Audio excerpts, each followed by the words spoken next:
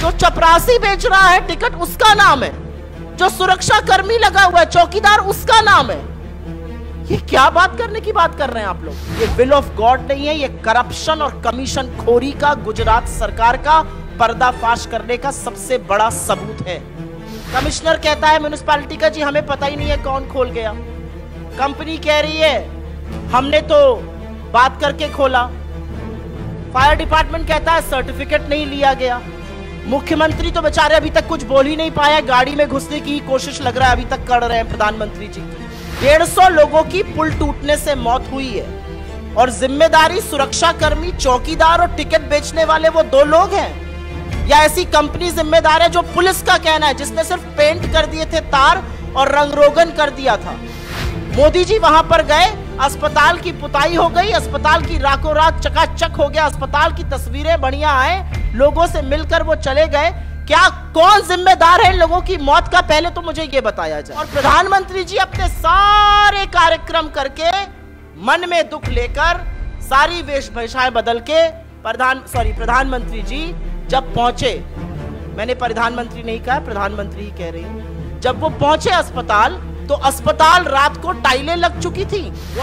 एक संस्था का संविधान बदल जाता है कि इनके पुत्र बने रहे और ये सवाल हमसे दागेंगे। वाह भाई।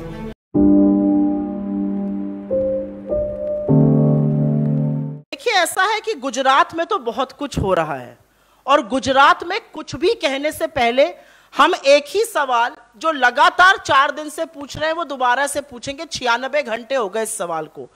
डेढ़ सौ लोगों की पुल टूटने से मौत हुई है। और ज़िम्मेदारी सुरक्षा कर्मी चौकीदार और टिकट बेचने वाले वो दो लोग हैं।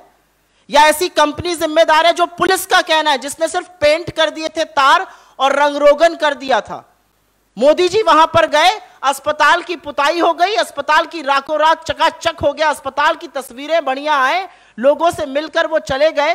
क्या कौन जिम्मेदार है लोगों की मौत का? पहले तो मुझे ये बताया जाए। म्यूनिसिपल कमिश्नर का नाम नहीं है एफआईआर में। कंपनी के एमडी का नाम नहीं है। अर्बन डेवलपमेंट मिनिस्ट्री जिसके मंत्री खुद और खुद मुख्यमंत्री है, उनका नाम नहीं है।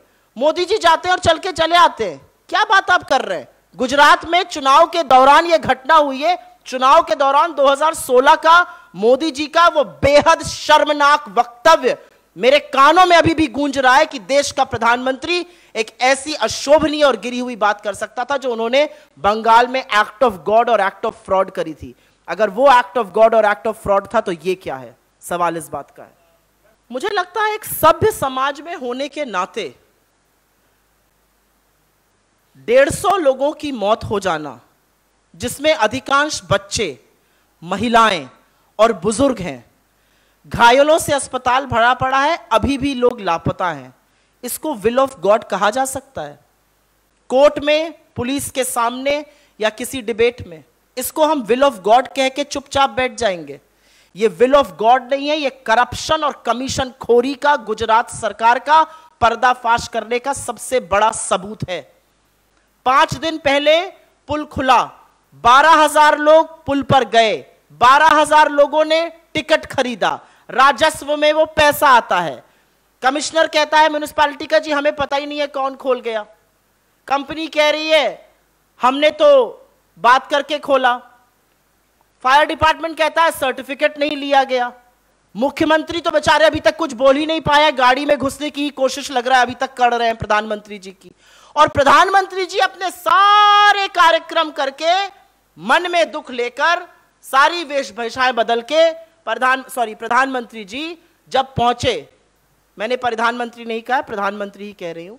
जब वो पहुँचे अस्पताल तो अस्पताल रात को टाइलें लग चुकी थी, वाटर कूलर लग चुका था, और आपके साथी ने जब बताया कि पाइप कनेक्ट नहीं हुआ तो पाइप कनेक्ट हुआ।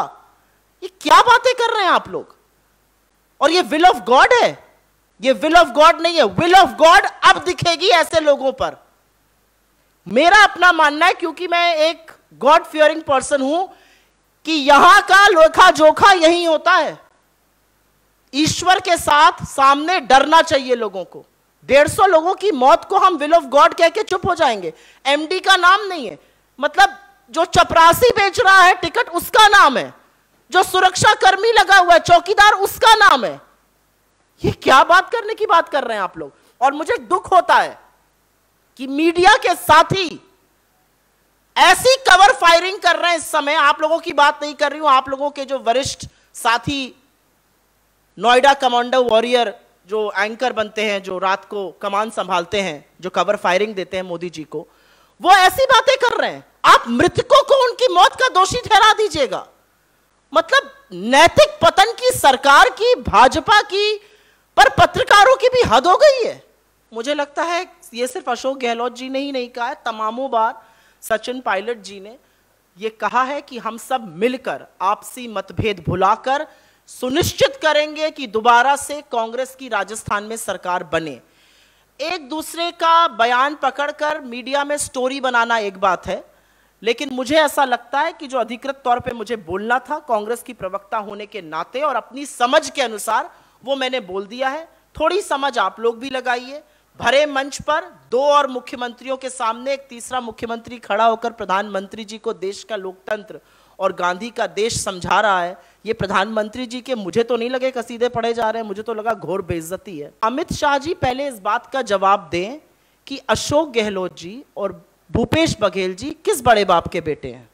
उन्होंने कांग्रेस की जमीनी राजनीति करी, एनएसयूआई की करी, यूथ कांग्रेस की करी। आज वो इस देश के मुख्यमंत्री हैं क्योंकि लोगों ने उनको चुना है। अमित शाह जी बहक जाते हैं। अमित शाह जी लोगों के पास अब मुद्दे नहीं रह गए हमारे कांग्रेस पार्टी के अध्यक्ष एक मिल मजदूर के लड़के हैं। ग्यारह बार चुनाव जीता है और उसके बाद हमारी पार्टी के लोगों ने उनको जिताकर अध्यक्ष बनाया है। ये हमसे बात करेंगे किसका किसको लड़का होना चाहिए। जो डैडी डैडी, मेरा खत्म हो जाएगा टेन्योर तो बीसीसीआई का संविधान ही बदल दिया जाता है। अमित शाह जी पहले अपने पुत्र जो डैडी डैडी करते थे जिनको तीन साल का एक्सटेंशन और मिल गया एस बीसीसीआई सेक्रेटरी उसका जवाब दें एक संस्था का संविधान बदल जाता है कि इनके पुत्र बने रहें और ये सवाल हमसे दागेंगे वाह भाई I have only one point to make from this platform. I hold no brief for any news agency or any news platform. I think the, the platform that you mentioned, the agency that you mentioned, has done some very good investigative journalism in the past. And I think everybody gets a story wrong. The editors, the owners of, of this agency have apologized, have retracted the story, and have given reasons as to why they were misled.